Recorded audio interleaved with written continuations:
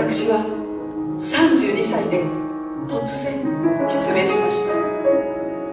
病名は急性緑内障に網膜剥離何か変だなと思っているうちに両目ともあっという間に見えなくなりお医者さんに行った時にはすでに手遅れでした。その時死のうとは思いませんでした。思いませんでしたがこの先一体どうやって生きていったらいいんだろう。そのことだけが心の中を巨来し外に一歩も出ることもなく家の中で寝たきりのような生活を送りました。そんな私に転機が訪れました。子供が生まれたのれてきてくれた子供を抱きしめて考えました。自分はこの子に一体何をしてやれるだろう。その時心のスクリーンに5つの文字が映し出されました。不屈の精神そこには黒くはっきりとした文字で確かにそう書いてありました。そうか。自分はこの子に不屈の精神を教えてやればいいんだ。そう思った瞬間に涙が棒だと溢れ出ました。私は立ち直りました。家の中で手探りでできることを探しました。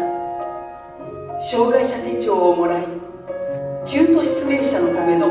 訓練施設に通い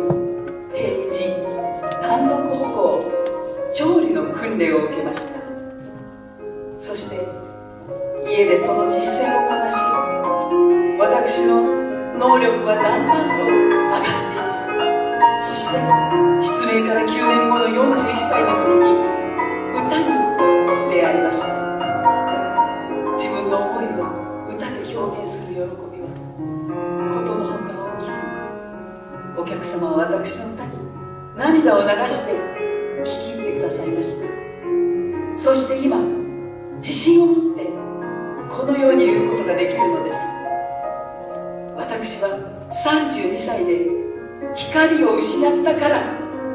幸せになりました。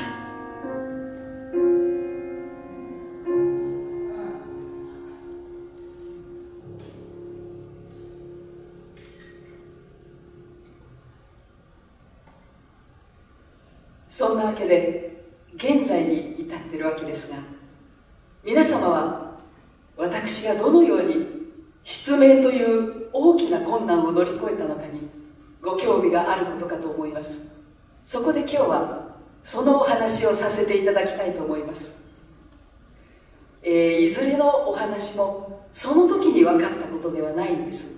いろいろと体験して今振り返ってみてあそこにはこんな法則性があったんだと気づかされたことを皆様にお話しさせていただきたいと思います。まず、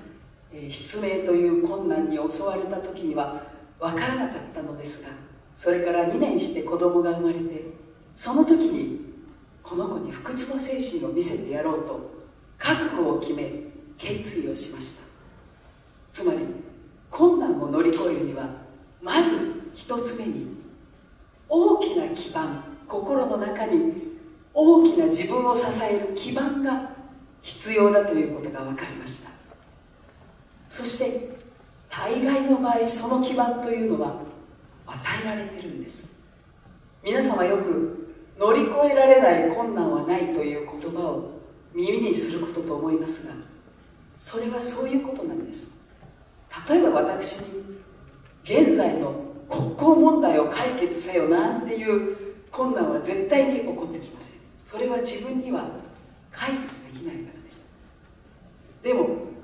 失明という困難は子供を持つことにより不屈の精神という覚悟を決めることによって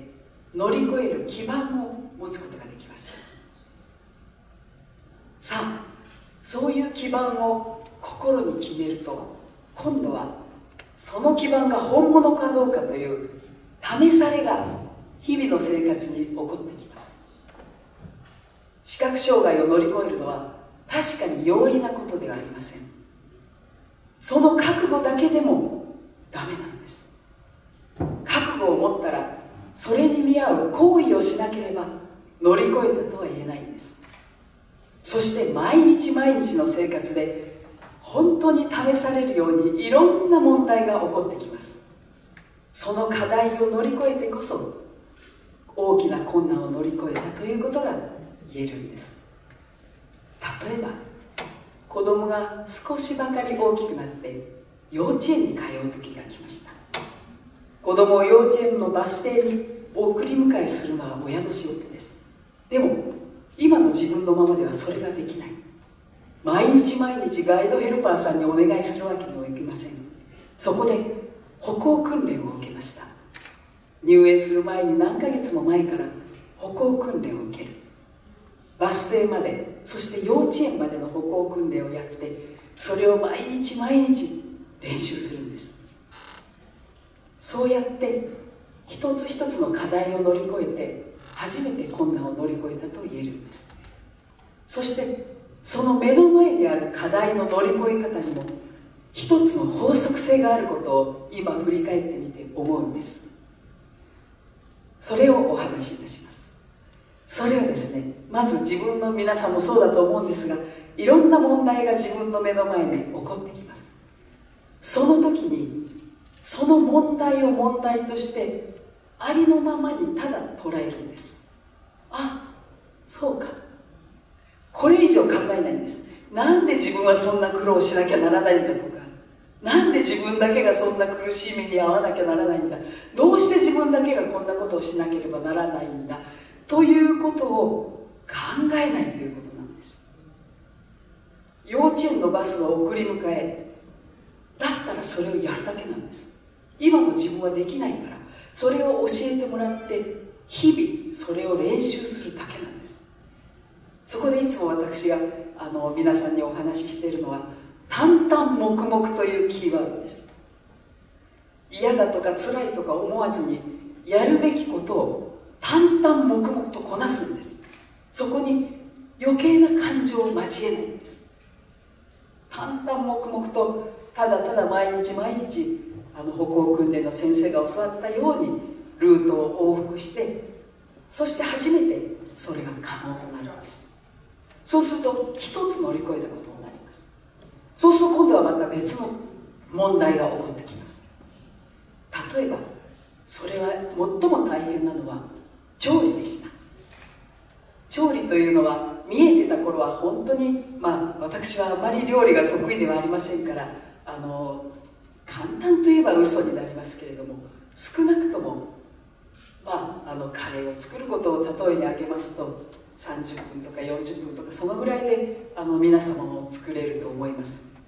ところが、まあ、訓練を受けてきて自分の家の台所は訓練所の台所とは全く違いますのでそこに慣れるのにもまた時間がかかる。じゃあカレーを例にとってみますと冷蔵庫の中からじゃがいもとか人参とか、えー、手探りで探し出す。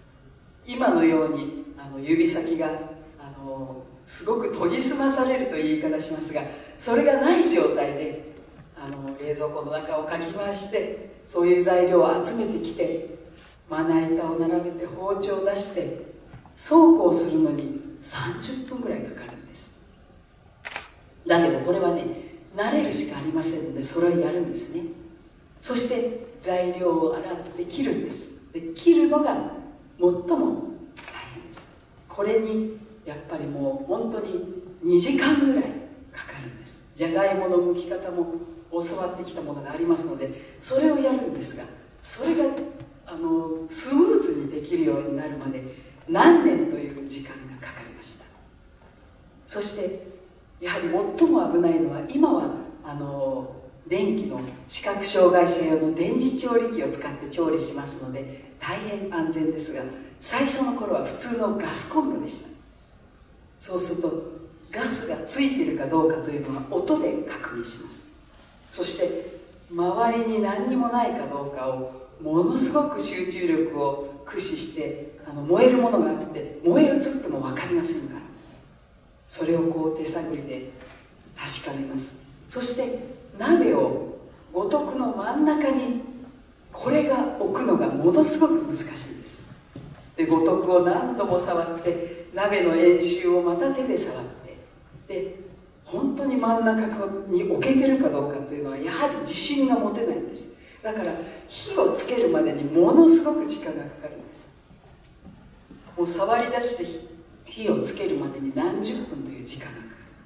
そして火を消してスイッチオン。そうするとボッと音がしますから火がついたということが分かるんです。で一一度火を火をつけてしまいますと鍋の位置というものは動かせませんから。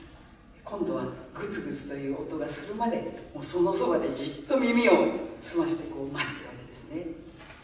そのようにしてあのまあ煮え立ったらカレールを入れてということをやるんですけれどもその鍋の中に物を入れるのも大変なんです。その円周を菜箸でこう確認しましてその的を外さないようにそこからざるにある材料をこう入れ込むんですけれども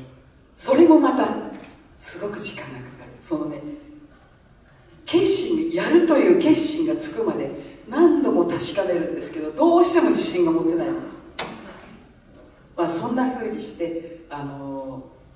カレーが出来上がるのに最初は5時間かかりました。5時間かかりました。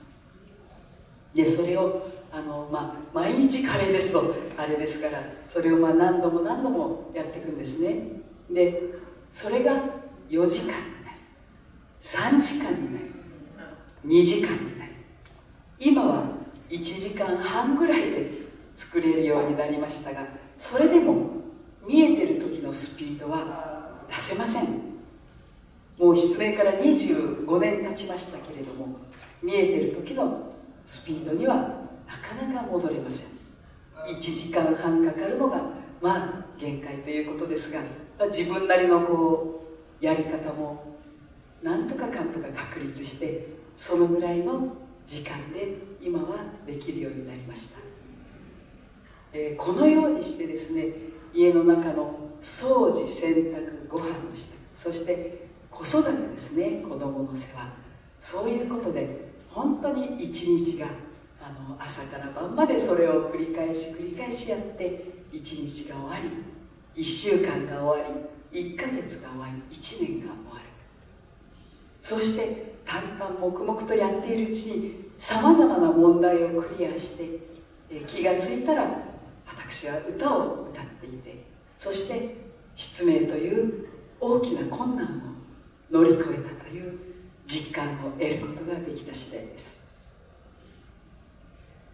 えー、これが私のまあこれはたった一つの例ですけれども、えー、これがあの大きな困難を乗り越えたというあの方法論と一つの具体例です、えー、まず起きてきた問題について、えー、なんで自分はこんな目に遭うんだろうとかそういう解釈をしないんです。特にマイナスの解釈は絶対によくありません。その最初にそういう気持ちを持ってしまうと後が続きません。そこであそうか。自分は見えない状態で料理を作れるようになればいいんだ。よしじゃあカレーを作ってみよう。これだけです。ここで止めるんです。ついその先の暗い思いにとらわれがちなんですがそこでストップする。そしてあとは淡々黙々とやる。そしてできなかったらまた工夫してやる。そのその過程で絶対にこうマイナスな思いを持たない。ただ淡々黙々とやり遂げる。それの繰り返しです、えー、そんな感じで、えー、困難を乗り越えたということがあの皆様にもお少しはお分かりいただけたんじゃないかと思います。え今後もいろんなものが問題が目の前に起こってくるとは思うんですけれども、えー、乗り越えられない困難はない。ということを固く信じて、えー、人生を生きていきたいと思います。ご清聴ありがとうございました。